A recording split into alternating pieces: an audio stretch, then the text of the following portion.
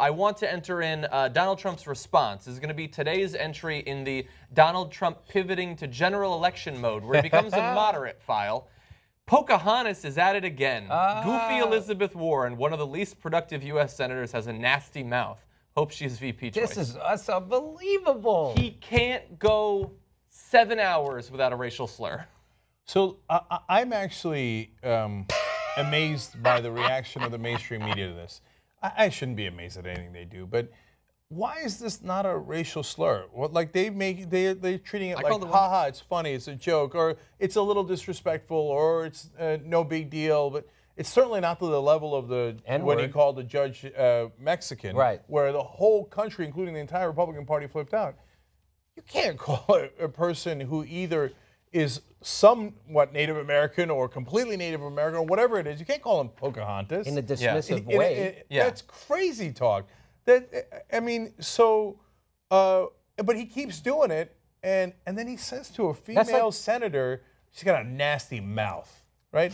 What the hell kind of way to t- Yeah, talk is this is from that? the guy who has redefined nasty mouth in this campaign. I mean, it's, he is so far out of bounds and it's been normalized by the press. I agree with you 100%. I can't believe the way this press has normalized this guy. He's allowed to has this wide berth of offensiveness, unlike any other candidate. And so And he called. He says she has a nasty mouth because she attacked his policies and said he was thin-skinned. So then he goes crazy because she called him thin-skinned.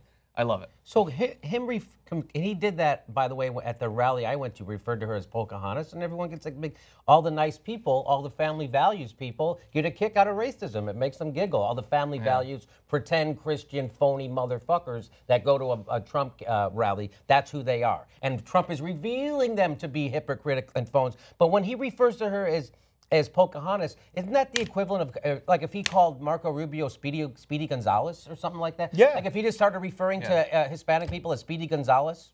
Or, if he or sta- historic. But or well, look at Ponce de Leon over here. Yeah. Nobody would do that. That's crazy. oh, Christopher Columbus.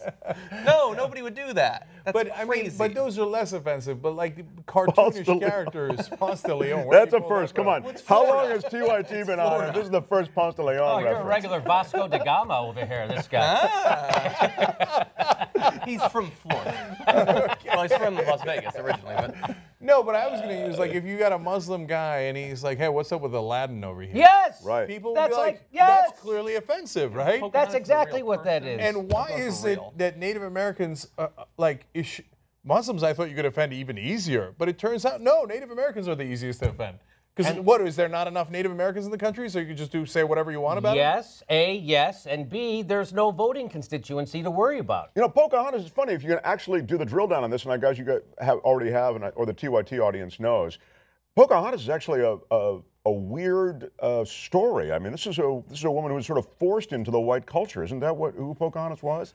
So, so some certainly claim that. You know, the, the story we got told in the beginning was that this young Native American girl volunteered to go with the white men Yeah. uh, on a trip. Yeah, there's a lot of that. yeah. And then you like it reminds me of my uh, my dad once told me the story when the Turks conquered Istanbul. And they said, "Oh no, no, the people were happy to be conquered." And a young woman came and gave the Ottoman Sultan a, a flower. And I thought, well, that story's probably a little different. Okay. Guessing it's been a rewrite on that. Right. So when you get to the rewrite of Pocahontas, you wonder if it was as voluntary as we were told. Yeah, all of a sudden she's in. Western clothing. She gives up her Indian heritage in terms of her traditional garb and all the rest of this stuff. So just uh, look, no one was effed the way the Native Americans were effed. Yeah. Nobody was effed. Like, uh, and there's a lot of competition. Don't get me wrong. I mean, you know, but Yeah, but yeah. I'm just saying that. So the invoking the name Pocahontas alone gives me the creeps, and the Yeah. fact that he just keeps uncorking it at every reference to Elizabeth Warren is nauseating to me. You, you know, it, it, it would it'd be like referring to a black woman as, uh, oh, look, Harriet Tubman over here. I mean, just whatever, just Yeah. dismissive and the most. Anyway, you're right, and the fact that you know we keep talking about the normalization of Trump, uh, it's over normalized. It's uh, the the it's fact. encouraged. Yeah, it's it's it's encouraged. It's again, it's the neutrality of the media who treats it like, well, they say this, they say that. There's and they don't frame those again. They don't frame Trump's rallies as hate rallies, which is what they are. Go ahead. I'm sorry. So and then Elizabeth Warren, um, I actually think she's on this grounds doing a great job. So she is getting under his skin. He is thin-skinned. Uh, and he keep, she keeps calling him an insecure money grubber. Yes. Yeah, that's a great Yeah. one. Oh, it is. And oh, it drives him crazy. And one. he ironically proves his insecurity every time she does that. If she's uh, the VP nominee, uh, and there's a lot of uh, good arguments both ways whether she should be or not, is she will drive him nuts. Yes, And then his every day. reaction to that will prove to uh, be a poor reaction that eventually I think would undo him. So at some point, the mainstream media, I think, is going to ask the same question we're asking, like probably three months later. Like, wait a minute, isn't all the things he's saying about Elizabeth Warren deeply offensive? And you got two women on the ticket. Oh, he's going to do so many anti-women oh, God. attacks. Yes. That, that that even Republican women are going to be like, oh. I doubt it. That's not going to happen. that won't happen. They'll stick with him to the end. those, those people, but- they're, they're- those Republican women are home listening to Dice Clay CDs right now. They don't give a fuck. and, and, and you know what? Let me just say this because a couple of weeks ago, Elizabeth Warren tweeted out, "I will do anything to help to, to keep Donald Trump from the White House. I'll do anything. I'll fight it." That was her uh-huh. big thing. And I tweeted back at her, "We're like, well, then why don't you endorse the guy?" Who actually has a chance of beating him? That if that's what this is about, you would endorse that guy. But that's not what this is about. This is about something else.